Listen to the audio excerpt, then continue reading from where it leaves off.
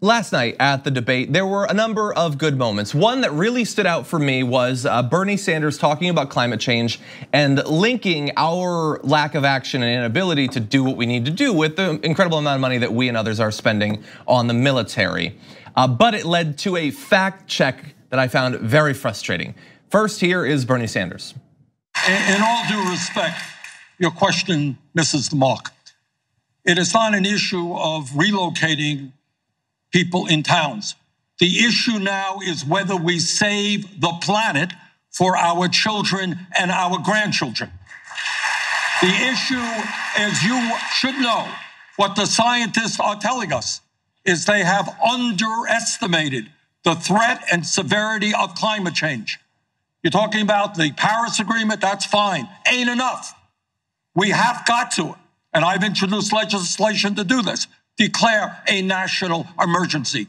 The United States has got to lead the world.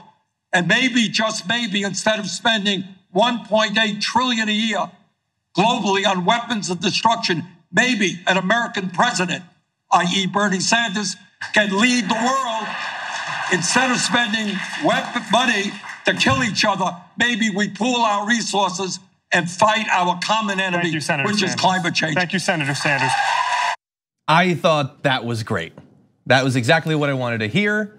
Uh, yeah, uh, and, and I had sort of made a similar sort of point or, uh, uh, last night that like saying like, yeah, I'm gonna put us back in the climate accords. Like, so yeah, obviously you're gonna do that.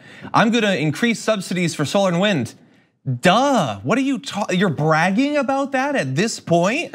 Yeah, I everything from that through the Green New Deal is an investment in a major shift in the world. Mm-hmm. And I mm-hmm. think it's a good one and it's one we can lead. We already lead in military spending. We already we already are the coolest and biggest. We have the best. Whatever me measuring contest you want. We can make things blow up big. We, yeah, we are the killiest. Mm -hmm. So no one kills more yes. or better. So we can do that. But this is this is one of those things that's so frustrating because it the way it is written off so quickly by mm-hmm. people who say, "How can we pay for it?" Um, and that it's and that it's it. I mean, and I get it. I get that initial instinct, that initial instinct that says like you're just describing a disaster movie, mm-hmm. and those star Arnold Schwarzenegger, mm-hmm. and there's a lot of CGI. But it's yeah. like no, it's not exactly like that. But we know where it's headed, and we can make an investment the way we invest in so much other stuff to, to safeguard ourselves and in the meantime make a lot of money off of it. Yeah. Because all of the stuff that we take for granted now was invested in by the by the by the government, whether it's trying to go to space and all the technological advancements that came from being like, oh, we should make stuff smaller so it so we can put it on an aircraft yeah. and still get to the moon or spacecraft and get to the moon. The same way we are investing in technologies that yes will put us ahead of the curve when it comes to climate change initiatives and and safeguarding our resources, but also be practically uh, applicable later in other ways. Yeah, yeah, yeah. God, and, smart. and and you're so smart. And every like obviously, uh, if you are facing a huge threat, you don't want it to hit you, so you ward it off. But along the way, not we'll be making jobs, but everything will be more efficient, more sustainable, healthier, like cleaner, all of that. Every one of these improvements is an improvement outside of even its impact on stopping climate change. But just to put one extra spin on it, like you say that, like I have a friend who's very conservative businessman, you know, that feeling mm-hmm. when you mm-hmm. talk to them. And he goes, all this Al Gore climate stuff's a scam anyway. And it's mm-hmm. like, well, from your perspective, good.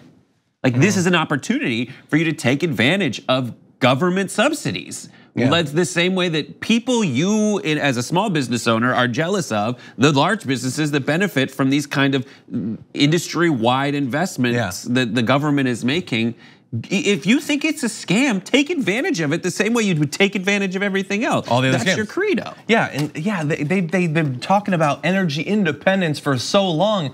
What if we could just make all of our energy from the light that's hitting us and the wind that's blowing around? Wouldn't that be great to be independent that way? But anyway, uh, there, Bernie Sanders did make one fatal error, and it's that he used a number, and he's gonna be slapped down for that because what we have is we have fact checkers, okay? They are here to help us uh, decide what is true and what is not true. ideally. Sometimes it's used for something else, and this is a good case of, uh, case of that. So he said that 1.8 trillion dollars was spent on weapons so that we can destroy each other. And so uh, I saw this. This is tweeted out by a CNN reporter. So uh, fact check, Sanders was speaking imprecisely. The 1.8 trillion figure represents all global military spending in 2018, not spending on weapons in particular. It's also on bases and uniforms and vehicles and healthcare for the soldiers and all that. Yep, those are all things you need to have the military that is using the weapons to blow each other apart. It has nothing to do with what he's saying. It's still a dollar. You know, what's that classic thing? Every dollar spent on blah, blah, blah isn't a dollar that goes into the mouth of a child and all that. Mm. It still isn't going into the mouth.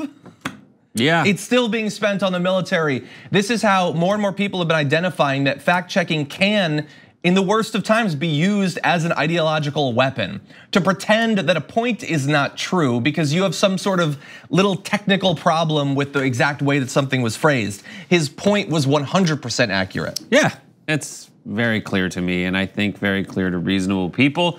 And I'm glad that CNN has people doing this kind of stuff though. Um, because I generally am. No, I mean the, the more I, I was listening to some CNN coverage of the debate on the way home after the debate because we all stayed here. Thank you everybody for watching. Thank um, you.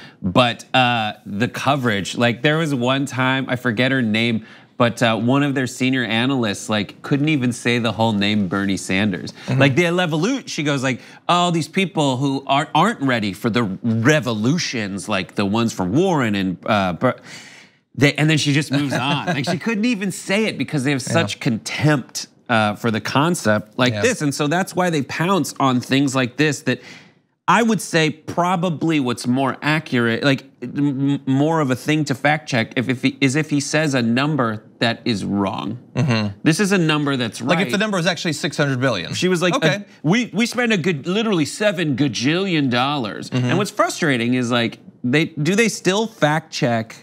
Like Trump in that way, where they go, and sometimes they do, but the defense is like, of, of Trump when he lies is well he's that was hyperbole on purpose mm-hmm. and Bernie's like no that all made sense in yeah. every way you're trying to spin it in a way that is a distinction without a difference exactly. they try to drop like this is co- correlation is not causation it's like yeah. you have given a distinction without a difference exactly. if you want to crawl up each other's you yeah. know speech and debate butts